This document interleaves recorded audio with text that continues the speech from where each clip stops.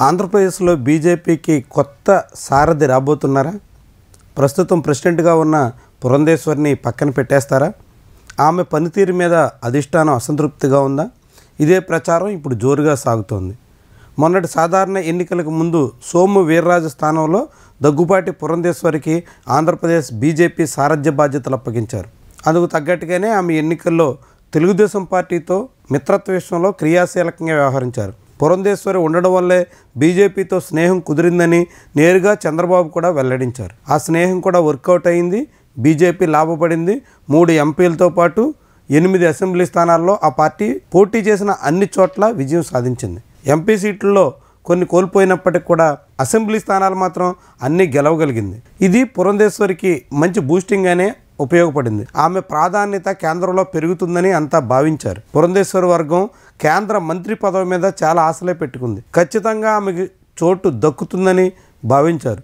గతంలో రెండుసార్లు పార్లమెంట్కి ఎన్నికై మన్మోహన్ సింగ్ ప్రభుత్వంలో కేంద్ర మంత్రిగాను పనిచేసిన అనుభవం ఉండడంతో ఆమెకి అవకాశం గ్యారంటీ అని అంతా భావించారు. కానీ అందుకు భిన్నంగా జరిగింది. ఆమె ఆశలు పండలేదు. ఆమెతో పాటుగా సీఎం రమేష్ కూడా కేంద్ర మంత్రి హోదా కోసం కలలు గన్నప్పటికీ వాళ్ళిద్దరినీ పక్కన పెట్టి మొదటి నుంచి బీజేపీలో ఉన్న. ఆర్ఎస్ఎస్ బోర్న్ లీడర్కి అవకాశం దక్కింది. నరసాపురం నుంచి ప్రాతినిధ్యం వహించిన నాయకుడు శ్రీనివాసరాజు కేంద్ర మంత్రి హోదా దక్కించుకున్నారు. ఇప్పుడు ఏకంగా పురంధేశ్వరికి కేంద్ర మంత్రి పదవి దక్కకపోగా ఉన్న రాష్ట్ర అధ్యక్ష హోదా కూడా కోల్పోయే ప్రమాదం దాపురించింది. ఆమె పనితీరు పట్ల కేంద్ర బీజేపీ నాయకత్వం పూర్తి అసంతృప్తిగా ఉన్నట్టుగా కనిపిస్తుంది. రాష్ట్రంలో బీజేపీ అభివృద్ధికి ఆమె తగినంత శ్రద్ధ పెట్టడం లేదన్న అభిప్రాయం ఉంది. ప్రస్తుతం ఆ పార్టీ సభ్యత్వ కార్యక్రమం సాగుతుంది.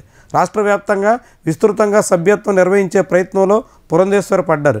అయితే సభ్యత్వ విషయంలోనూ పార్టీని నడిపించే విషయంలోనూ నేతలతో సమన్వయం విషయంలోనూ పురంధేశ్వరి ఏకపక్షంగా సాగుతున్నారని విమర్శలు ఉన్నాయి విమర్శలే కాదు నేరుగా అధిష్టానం ముందు పలు ఫిర్యాదులు ఉన్నాయి. సాధారణ ఎన్నికల్లో అనేక మంది బీజేపీ కీలక నాయకులకి టికెట్లు రాకుండా చేశారన్న అభిప్రాయం బలంగా ఉంది.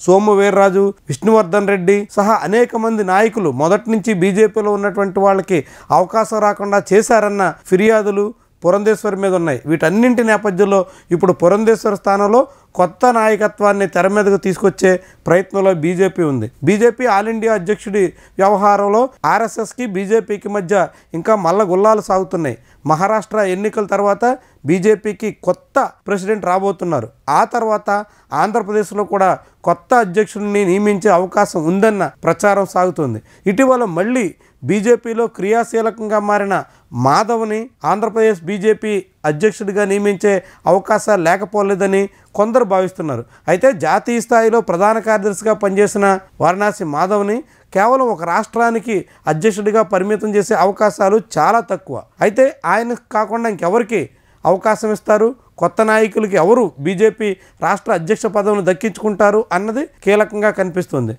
ఇప్పటికే బీజేపీ ఎంపీగా రాజమహేంద్రవరం నుంచి ప్రాతినిధ్యం వహిస్తున్న పురంధేశ్వరి స్థానంలో కొత్త వాళ్ళకి అవకాశం ఇస్తే ఉత్తరాంధ్ర నుంచి మాధవ్ కానీ రాయలసీమ నుంచి విష్ణువర్ధన్ రెడ్డి కానీ పోటీ పడే అవకాశం ఉందన్న అభిప్రాయాలు ఉన్నాయి. అయితే వీళ్ళిద్దరూ కాకుండా కులాల సమీకరణలో కాపులకి మరోసారి పట్టం కట్టే అవకాశం ఉంటుందా? లేకుంటే మిత్రపక్షంగా ఉన్న జనసేన కాపు నాయకత్వమే ఉంది కాబట్టి బీజేపీ కమ్మ లేదా రెడ్డి సారథ్యంలో ముందుకు సాగుతుందా? చూడాలి.